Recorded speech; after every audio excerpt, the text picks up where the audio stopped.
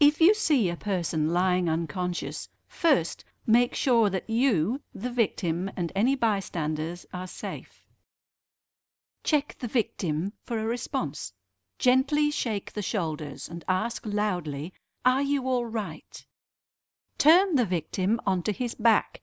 Open the airway by tilting his head back and lifting his chin. Keeping the airway open, look, listen and feel for breathing. If he does not respond, shout for help, call the emergency number or ask someone else to call for you. Obtain the nearest Cardiaid AED. If there is another person present, ask him to bring you Cardiaid AED and perform CPR until the Cardiaid AED arrives. Cardiaid switches on automatically when the cover of the device is opened. Follow the verbal and visual instructions. Phone alarm number.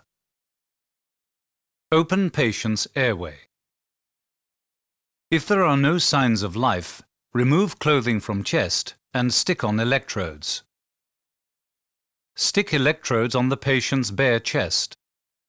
If necessary, use the scissors in the emergency kit with Cardiaid to cut the patient's clothes. Cardiaid immediately starts analysing the heart rhythm. Do not touch the patient from now on. Do not touch the patient from now on. Analysing heart rhythm. If electroshock is necessary, Cardiaid informs the user and prepares the shock. Cardiaid gives shock when the user presses the shock button. Before pressing the button, make sure the patient is not being touched or moved. Shock necessary. Do not touch the patient from now on. Preparing shock. Press the flashing shock button. Shock has been given.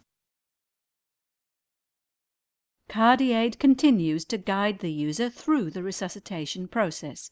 First, give 30 chest compressions by following Cardiaid's verbal instructions. Cardiaid provides a metronomic signal with the correct rhythm for the chest compressions. Cardiaid External Chest Compression Assistant is designed to help the rescuer perform the most effective and consistent chest compressions on a sudden cardiac arrest victim. Patient may be touched. Carry on resuscitation Alternately give 30 chest compressions and two mouth-to-mouth -mouth breaths. After 30 chest compressions, give two mouth-to-mouth -mouth breaths. Continue CPR by following Cardiaid's instructions until the instruction do not touch the patient from now on is heard. After CPR, Cardiaid will analyse the heart rhythm again and prepare a second shock if needed. Do not detach the electrodes and keep following Cardiaid's instructions until professional help arrives.